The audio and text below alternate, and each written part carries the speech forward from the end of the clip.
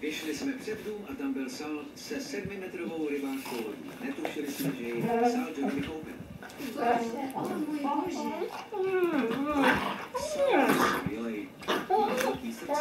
A vážně mu na nich záleží.